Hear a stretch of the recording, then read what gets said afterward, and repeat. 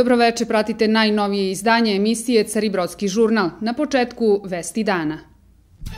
Sutra obeležavamo Međunarodni praznik rada. Hotel Saks Balkan dobitnik prestižnog priznanja Zlatni tanjir.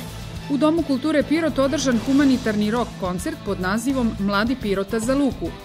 U okviru turneje filmskog festivala Slobodna zona od 5. do 9. maja u Dimitrovgradu biće prikazano pet filmova.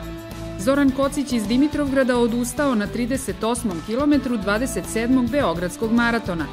Za 1. maj u Dimitrovgradu promenljivo oblačno sa kišom, više padavino očekuje se posle podne, maksimalna temperatura 19 stepeni.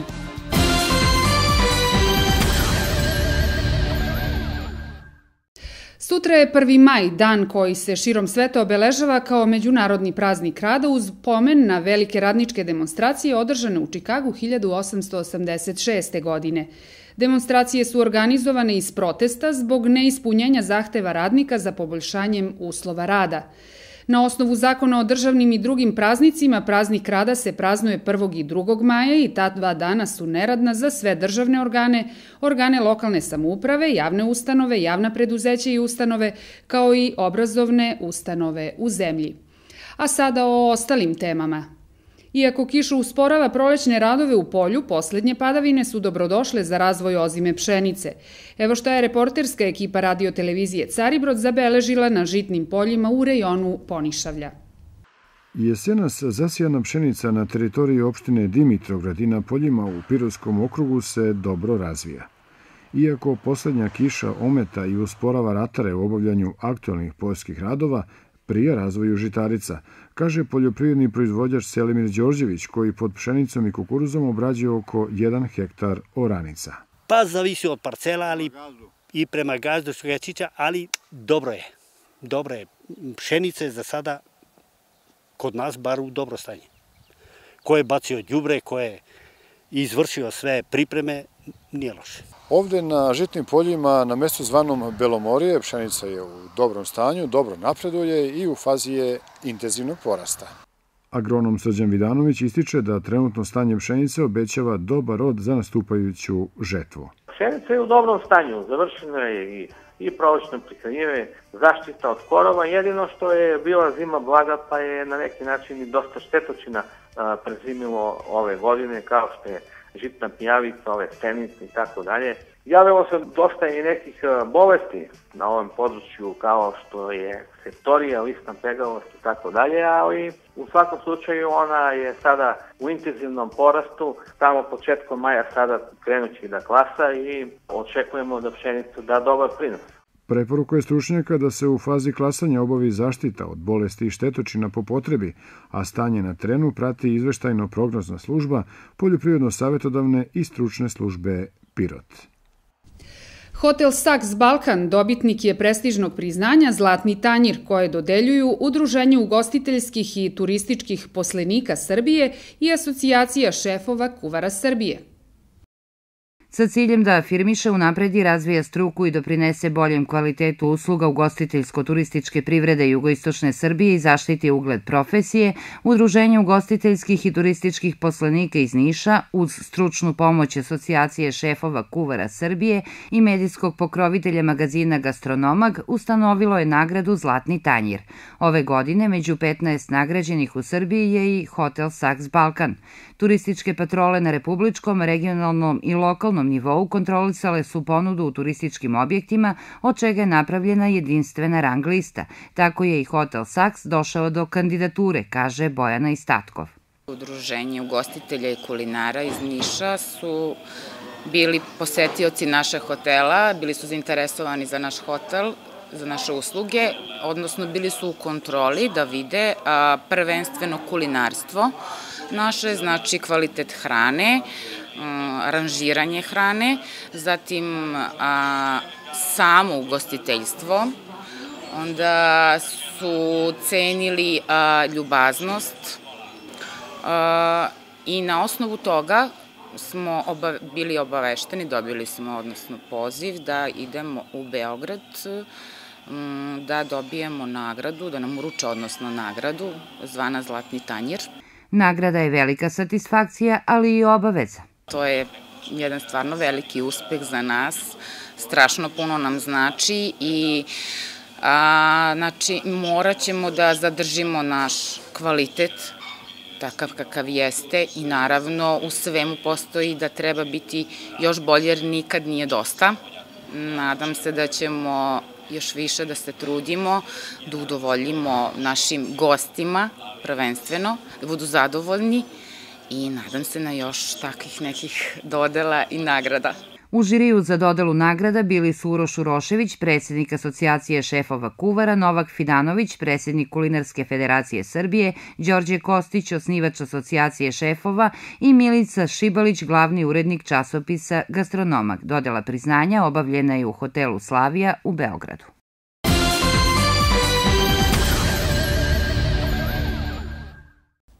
Na okružnom takmičenju orkestara i horova osnovnih škola održanom u Pirotu, Duvački orkestar osnovne škole Hristo Botev osvojio je prvo, dok je hor zauzeo treće mesto. Po povratku iz Pirota, mladi dimitrovgradski muzičari održali su mini koncert u centru grada.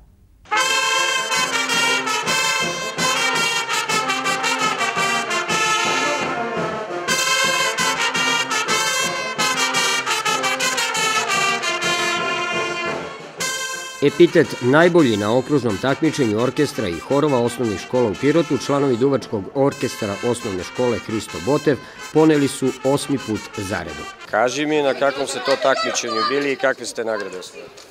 Bili smo na okružnom takmičenju i osvojili smo prvu nagradu. A sa vama je bio i hor? Bio je naš hor odavde i oni su osvojili treću nagradu. Osvojili smo prvo mesto i bilo je veoma dobro. U Pirotu nije imalo konkurencije, ali prvo smo mesto osvojili. Kaži mi kakvi su planovi za buduće i dalje misliš da se baviš muzikom? Da. U Pirotu svirali smo odlično, žao mi je zbog kora koji nije prošao, isto da republičko takmičenje. Tako. Kada se očekuje republičko takmičenje? Republičko, takmičenje bi trebalo da bude u Lazarevcu 31. maja i 1. juna. Osvajanjem prvog mesta u okrugu Duvački orkestar pod dirigentskom palicom nastavnika muzike Aleksandra Rančeva steko je pravo učešće na republičkoj smotri koja će maja meseca biti održana u Lazarevcu. Na nivou Republike pretvornih godina Dimitrovgradski orkestar je čak šest puta bio najbolji.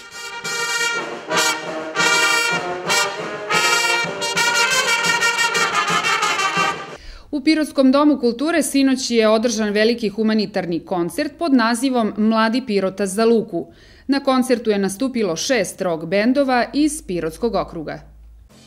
Prelepa rock atmosfera u Pirotskom domu kulture, šest rock bendova i čak tri rock sastava iz Dimitrovgrada. Koncert pod nazivom Mladi Pirota za Luku ispunio svoju humanu misiju, kaže Dragana Matić, jedna od inicijatorki ove humanitarne manifestacije. Mi smo sinoć dobili jednu pobedu, prikupljene su značajna sredstva. Odaziv nije bio onakav kakav je bilo za očekivanje, kako je bilo u najavi, ali ovaj svakako smo zadovoljni. Atmosfera je bila dobra, ovaj mladi su zaista bili maksimalni, mislim na ovaj učesnike, na izvođače, znači na članove bendova. Atmosfera je bila, mogu da kažem, zadovoljavajuća, ovaj koncert je protekao bez ikakvih problema i sve je bilo u redu. Ja kao neko ko je nekakva karika u, u svemu ovome i neko ko nema iskustva sa organizacijom ovakvih manifestacija sam više nego zadovoljna. Svi učesnici pokazali su svoju humanost na delu među kojima Dimitrovske rock grupe Eastern Gate, Imagination Theory i Rock Generacija. Dimitrovgrad može da bude ponosan na omladinu, na svoju omladinu. Oni su zaista bili e, nosioci svega ovog i ovo je bila jedna lepa manifestacija sa jednim plemenitim ciljem. Sredstva prikupljena od koncerta bila su namenjena za kupovinu specijalnih kolica za 17-godišnjeg Luku Lilića iz Pirota, koji od rođenja boluje od cerebralne paralize. Na turneji filmskog festivala Slobodna zona u Dimitrovgradskoj gimnaziji biće prikazano pet filmova. Slobodna zona u Dimitrovgradu održava se od 5. do 9. maja.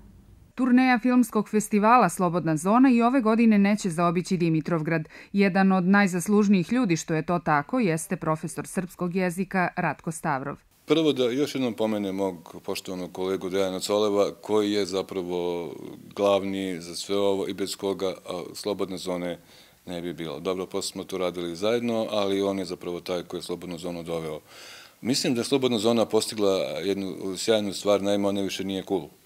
Ovde u Dimitrovgradu ona više nije o, nešto što je bitno, e, da dođu, da, da dođem da me vide, o, nego Slobodna zona stvorila jedno jezgro svoje publike koje dolazi na festival zato što voli filmove. Repertoar je nikad bolji i nikad gori, smatra Stavrov. Nikad gori jer od one prvobitne ideje Slobodne zone kao festivala provokativnih političkih filmova nije ostalo ništa.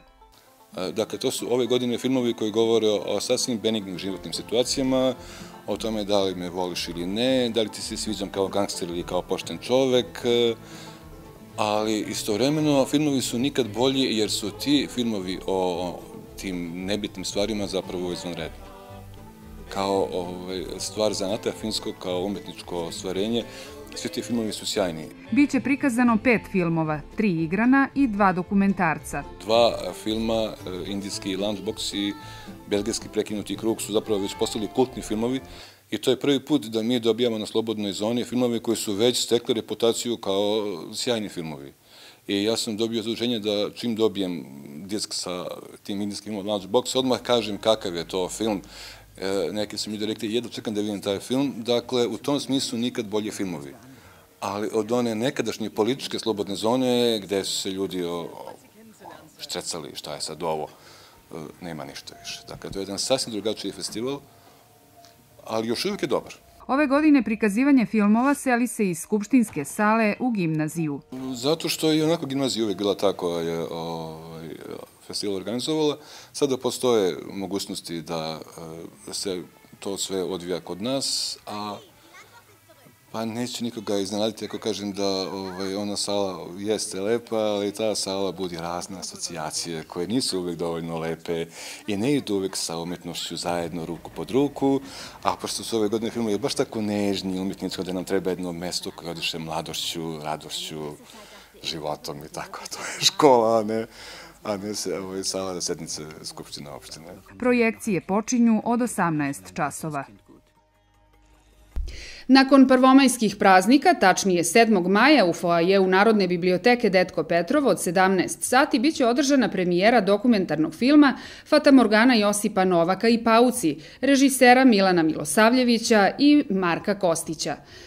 Gostujući u emisiji od pola deset, Radio Caribroda, jedan od autora Milan Milosavljević kaže da je to film o filmu Josipa Novaka, Rudareva sreća, iz 1928. godine film Fata Morgana Josipa Novog i Pauci urađen 2011. to je završen, malo snimanje je trajalo jednu godinu ranije, e, da smo kolega Marko Kostić i ja odlučili da eto malo se po, posvetimo i tom kraju i da prosto tu jednu filmsku misteriju koja postoji od davnih dana pokušamo da razrešimo i da predstavimo široj publici.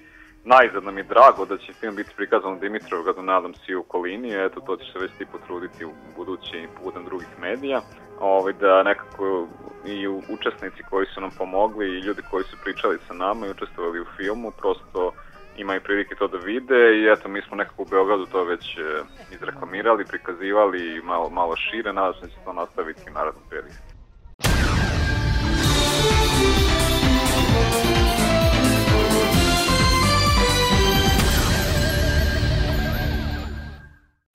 Minulog vikenda završeno je prvenstvo prve muške regionalne lige Istok. Košarkaši Dimitrovgrada sezonu su završili na devetom mestu sa 36 bodova. Toplo, hladno. Tako bi u dve reči mogao da se opiše učinak košarkaša Dimitrovgrada u upravo završenoj sezoni. Krajnji bilans 10 pobjeda i 16 poraza i deveto mesto u krajnjem poredku. Drugi deo prvenstva obeležile su oscilacije, najpre četiri poraza, od kojih su neki bili neočekivani, pa zatim četiri pobede kojima je obezbeđen opstanak i sam finiš sa pet uzastopnih poraza. Trener Vasil Andrejev smatra da je turbulentan jesenji deo prvenstva sa velikim promenama u igračkom kadru uticao na učinak ekipe u nastavku. Uklopili smo se nekako, čak su Uh, ovi igrači međusobno znaju, uh, Stefan Krstić i Milan Todorović, uh, znaju se sa ovim ostalim igračima i dugo vremena su treniraju, tako da se oni brzo uklopili u drugom delu prvenstva sa ekipom.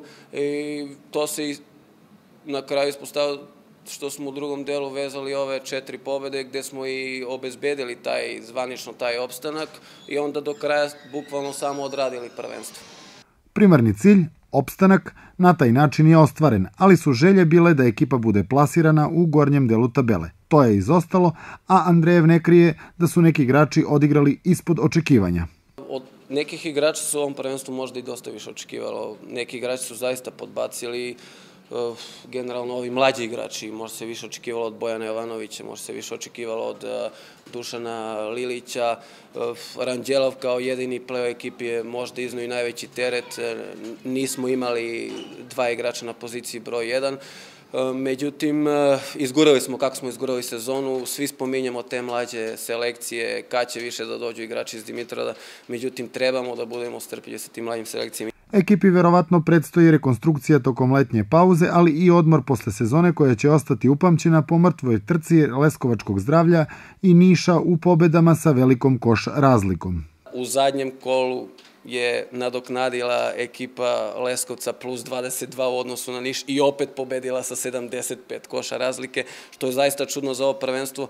Čak i ekipa Knjaževca, bilo je u novinama, ekipa Knjaževca je čak pisala dopis Košarkaškom savezu Srbije. Mislim da su oni čak e, slali i, i svoje supervizore na zadnje dve utakmice. E, čak su doveli u pitanje regularnost takmičenja što se tiče plasmana ekipe u viši rang iz, iz ovog e, dela, iz istočnog regiona. I dok je plasman zdravlja u viši rang ostao pod velom sumnji, klubovi sa dna jednog davljenika odredili su u međusobnim duelima, a mladosti Zaječara bila je najslabija i ispala iz lige.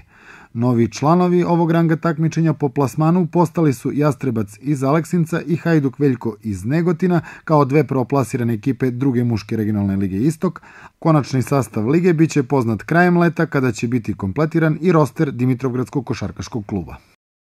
Intenzivirane su pripreme za organizaciju finalnog turnira Kupa Srbije za rukometašice.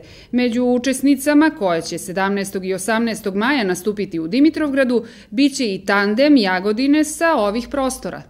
U ponedljak je formiran organizacijni odbor finala kupa koji će činiti predstavnici relevantnih organizacija i institucija. Sama hala u sportskom centru Park ulepšana čeka rukometašice, saniran je deo parketa, odrađeni molerski radovi, a nabavljena je i dodatna oprema za ovaj nivo takmičenja. Mnoge će ipak najviše obradovati novina koju najavljuje direktor javnog preduzeća Sportsko-turistički centar Dimitrovgrad Aleksandar Andrejević da u prostoru aneksnog dela sportske hale adaptiramo za postavljanje sport kafeja, To je neka novina koju težimo u saradnji sa opštinom Dimitrovgrad, jer nam je jedan od ciljeva da u narednom periodu poboljšamo same usluge javnog preduzeća. Očekujemo povećanu cirkulaciju ljudi u našem gradu, tako da će nam ovo stvoriti jednu mogućnost da eto i unesemo nešto inovativno u rad preduzeća, s druge pak strane poboljšamo sobstveni prihodi preduzeća i same opštine Dimitrovac. Pored Beogradskog Milenijuma, Aranđelovačkog Knjaz Miloša i Kragujevačkog Radničkog, za pehar će se boriti i ekipa Jagodine. Ekipu iz Pomoravlja predvodit će sestre koje vode poreklo iz ovih krajeva. Poslednji bedem pred golom Jagodinki biće Kristina Georgijev koja posle gubitka titule želi da svoj prvi trofej osvoji upravo u Dimitrovgradu. Iskreno, nadam se da ćemo ući u finale, iako smo izgubile titulu. Mislim da zaslužujemo i da treba da uzmemo kup. Izuzetno smo počastvovane i sestra i ja što se finalni turnir u kupu održava u Dimitrovgradu, pre svega jer za svaku sportistu mislim da je najlepše ako trenira dosta dugo da odigra nešto najznačajnije, da odigra u svom gradu pred svojom publikom. E, ja i Tamara nismo imale priliku ni jednom da pokažemo šta znamo pred svojom publikom i pred svojom rodbinom. Došao je i taj trenutak. Udarna igla u napadu ekipe Dragana Markova biće Kristinina godinu dana mlađa sestra Tamara Georgijev, koja u svojim vitrinama već ima dve duple krune u dresu Zaječara, kao i reprezentativno zlato sa mediteranskih igara osvojeno prošle godine u turskom gradu Mersinu. I njoj će ovo biti prvi nastup u Zavičaju. Nadam se da će biti puna hala, što je očekujemo od naših građana i naših e, rođaka. Biće baš puno, nadam se. Jer će biti promocija za kasnije i da se i rukomet oživi u Dimitrovgradu, da dođu deca da treniraju, što bi mnogo voljela da nam se ostvari. Jer prvi put bi igrala i Kristina i ja pred našima i to bi bio mnogo veliki lep osjećaj za nas. I Aleksandar Andrejević u finalnom turniru Kupa vidi veliku šansu za Dimitrovgrad ne samo na sportskom polju idealna prilika koju trebamo svi skupa da iskoristimo, ne samo ljudi iz oblasti sporta, preduzeća, već svi naši građani, ceo grad, pruža nam se istorijska šansa da organizujemo zvanična takmičenja, da se čuje za naš grad, za sportsku halu, za objekte, sportske kapacitete turističke kojima raspolažemo, da nam to bude samo jedan, da kažemo, trasirani put koji će nam omogućiti u narodnom periodu još bolja takmičenja i naravno da eto privučemo što veći broj sportista u naš grad. Parovi polufinala Kupa koja je na programu 17. maja biće poznati početkom naredne nedelje posle žrebanja u Beogradu, gde će biti upriličena i prezentacija grada domaćina, a finalni susret Kupa biće odigran u nedelju 18. maja sa početkom u 18 sati. Juče su u Pirotu izvučeni parovi prvo kola Futbalskog kupa Srbije na teritoriji Pirotskog okruga za koji su se ove godine prijavile samo četiri ekipe. Balkanski će u sredu, 7. maja, biti domaćin Pirotskom srpsko-ligašu Radničkom, dok će Željuša dan ranije u sportskom centru Park dočekati Lužnicu iz Babušnice a u nedelju je održan 27. Beogradski Swiss Gas maraton na kome je učestvovalo rekordnih 3600 takmičara iz 50 zemalja. Među učesnicima najteže atletske trke bio je i pripadnik MUPA iz Dimitrovgrada Zoran Kocić, koji je u 50. godini pokušao da istrči svoj prvi maraton, ali je odustao na 38. kilometru. Tokom vikenda održan je tradicionalni Beogradski maraton, Među više od hiljadu učesnika bio je i pripadnik Ministarstva unutrašnjih poslova iz Dimitrovgrada, gospodin Zoran Kocić. Gospodine Kociću, kako su tekle pripreme i kako je sve to izgledalo toga dana u Beogradu? Da li možete detaljno to da opišete svim našim sugrađanima i gledalcima radio televizije Caribrod? Pa pripreme, znači počeo su možda nekih mogu da kažem godinu dana, pa imao sam tako neku ideju da, da istrčim taj neki maraton za sebe, za svoju dušu i počeo sam sa pripremama maja meseca prošle godine nakon završetka 26. maratona. I pa mogu da kažem da su bile pripreme stvarno, može se reći za kao ozbiljne za nekoga ko nije elitni maratonac, već čisto je hteo da ode da sebe isproba da li će uspjeti da istrči taj ipak zahtevnu sportsku disciplinu koja se zove maraton. 42 km, 195 metara. Znači, ja sam za njih možda 10 treninga imao po 75 kruga, to je kao ono najveća distanca treniranja pre maratona. Tako da, Pa ja mislim da sam istrčao možda nekih 1200-300 km tokom moje pripreme do maratona. Što se tiče samog maratona, na kraju ipak niste uspeli da završite maraton, ali kako je to izgledalo na samoj stazi i dokle ste stigli kad ste rešili da odustate? Pa, znači, to je nešto što treba samo da se doživi, to ne može da se opiše rečima koje je to doživljaj, Preko 5000 maratonaca i polumaratonaca je bilo na, bilo na startu kod glavne pošte u centru Beograda. Bilo je tu od 18 do, ja mislim, preko 80 godina vidio sam par tih nekih starijih ljudi. Znači, star, starijih ljudi koji trče maraton. Što je bilo, mislim, znam za takve slučajeve, ali opet stvarno to je za neku izuzetnu pohvalu. I Međutim, e, znači, start je bio 10.00, trka je bila, e, može se reći, teška jer je vetar do prvih 10-15 km. E, krenulo se na 16 stepeni, završilo na 24 stepeni, 23-4 stepeni na beogradskom asfaltu. Sunce, sunce je bilo vrlo jako, tako da sam popio sigurno da neću vas slagati, jedno 15-20 onih flašica vode od 0,5 i što sam, jedna greška koju sam ja napravio, znao sam za to, ali eto nisam poneo uh, šećer sa sobom, uh, jer tokom te, tog trčenja se gubi mnogo šećer. I u 38 km, znači u jednom trenutku samo osetio sam neku nesesticu i noge su stale i u tom trenutku sam znači ostao bez šećera i jednostavno uh, nisam više, jednostavno, stao sam u mestu. Do tog trenutka imao sam 57. rezultat od 1000-1200 maratonaca, znači sa 2.37 i mislim da sam čak možda sebi preforsirao. Ne da mislim, nego sam siguran, možda sam trebao malo sporije da trčim, ali eto, ponela me trka, ponelo me, uh, ponelo me sva ta atmosfera, to je nešto stvarno, nešto što treba svako da doživi.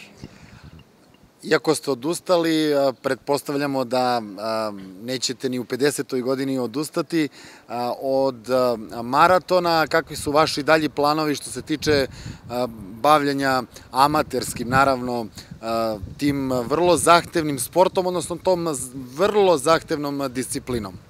Sad ću vam reći, pa ovako, čuo sam od Marko Vace, on mi dao informaciju da je 6. oktobra, mislim, ili tu negde, Sofijski maraton, a pošto sam ja već, može se reći, u treningu, nastavit ću sa vežbom i ako Bog da, znači, nadam se, ako se budu sve kocki se poklopile i ako ja budem izvuko pouke iz, iz ovog Beogradskog maratona i sa može se reći sa još malo boljom pripremom.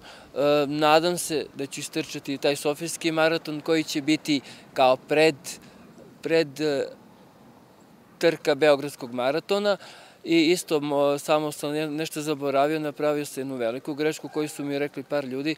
Trčao sam, pripremao sam se u parku na šljaci, a trčanje na šljaci i na, na asfaltu to je kao nebo i zemlja, tako da je tu bila moja velika greška, tako da ću se sada pripremati samo na asfaltu, trčat ću na asfaltu, tako da se budem znači, što bolje pripremio za to trčanje, jer e, sad ću vam samo reći jedan detalj, tamo neda oko 35. 600 km, u jednom trenutku znači, imao sam osjećaj kao da su moje noge u nekoj vatri da gore, znači to je sve gorelo od, od e, tog asfalta.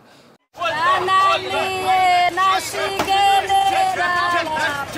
Hrvatska bi Srbijo se zvala. Filmski festival Slobodna zona. Ko voli, nek izvoli. Deveti put kreće na turneju po Srbiji i predstavlja sedam najboljih filmova. Perverznjakov vodič kroz ideologiju. Duh 45. Lunchbox. Gangster te voli. Ljubav je jača od svega. Prekinuti krug. Sutra i časovi harmonije. Od 5. do 9. maja u gimnaziji Kirilo i Metodije u Dimitrovgradu. Vidimo se u Slobodnoj 1. maj Međunarodni praznik rada slavi se u celom svetu, negde euforično uz iće i piće, a negde skromnije. A kako se pripremaju naši sugrađani? Jedan od redkih praznika koji je preživao bivšu Jugoslaviju. 1. maj, Međunarodni praznik rada. 1. maj kao međunarodni praznik rada nastao je davne 1886. godine. Naime, na ovaj datum više stotine hiljada radnika u Čikagu izašlo na ulice da bi zahtevalo opšte prihvatanje osmočasovnog radnog dana. Od tada širom sveta se 1. maj proslavlja kao međunarodni praznik rada. U Srbiji ove godine prvomajski praznik će biti proslavljen neradno. Mnogi od vas već znaju kuda će otići, uglavnom na raznorazne uranke. Kako se nekad slavio 1. maj, a kako danas? Zaboravio sam. Pa ko sam se i malo doljno para, pa i malo, znači, po bolji život, malo, pa rabote i malo na sve strane, a sad nima rabota, nema ništa. Mladi ili ljudi nema kude da rade i tako. Ko se saslavi? Ništa da govorimo, polna su ni sustas novi zubi. Nekada su tako slavili naši stariji sugrađani, ali su ovaj praznik prihvatile i mlađe generacije. U kućnu atmosferu na selu. Šta će biti na meniju? Pa, skara. Skara, piletina, malo prasetina. Jel mlada piletina? Mlada, mlada. pune mesare, pune prodavnice i žestoke pripreme za sutrašnji praznik ne izostaju i ovog puta i pored činjenice da je posla i zaposlenih sve manje i da sebi ne možemo da priuštimo ono što smo mogli u neka takozvana srećnija vremena. Pa sad se mnogo teško slavi za to što nema para. Nema para, inače pred je bilo i jagništa i sve je bilo. Sad je kriza golema. Ama pak će ima nešto? Će ima, sigurno će ima, ali po kriza je. Mislim, skupoća ta je mnogo. Ne je do toga, samo je skupoća golema. Mnogo je skupoća golema, inače ne je problem. Koji imu pare, oni si uzu jagre, koji ne imu pare, uzu malko po malko. Poslednjih godina prvomajski protesti ponovo dobijaju vidove protestnih okupljanja nezadovoljnih, mada su u nekadašnjim socijalističkim zemljama izgubili na masovnosti. U Srbiji i regionu vremenom se ustalila praksa izlaska u prirodu na taj dan na prvomajski uranak. Sledi vremenska prognoza.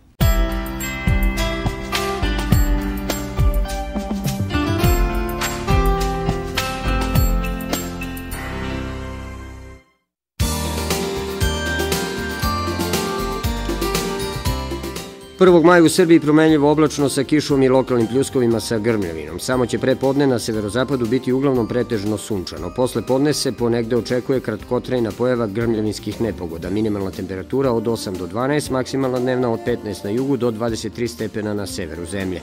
U Dimitrovu promenljivo oblačno sa kišom. Više padavina očekuje se posle podne. Vetar slab zapadni i severozapadni. Minimalna temperatura 7, maksimalna 19 stepeni. U petak i subotu pre podne promenljivo oblačno i toplije sa lokalnim pljuskovima i grnjovinom. Maksimalna temperatura od 18 do 25 stepeni. U subotu posle podne jačeno oblačenje sa pljuskovima i grmljavinom, naročito na severu. U nedelju oblačno sa pljuskovima i grmljavinom uz jak severo-zapadni vetar. Temperatura u padu i kretaće se od 10 na severozapadu do 18 stepeni na jugoistoku. Još jednom, vesti dana. Sutra obeležavamo Međunarodni praznik rada. Hotel Saks Balkan dobitnik prestižnog priznanja Zlatni tanjir. U Domu kulture Pirot održan humanitarni rock koncert pod nazivom Mladi Pirota za Luku.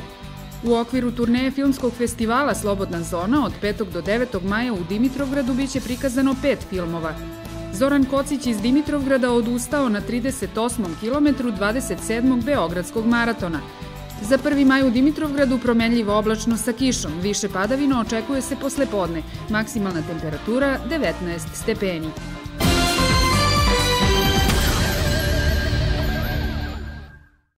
Pratili ste Caribrodski žurnal, hvala na pažnji i prijetno veče.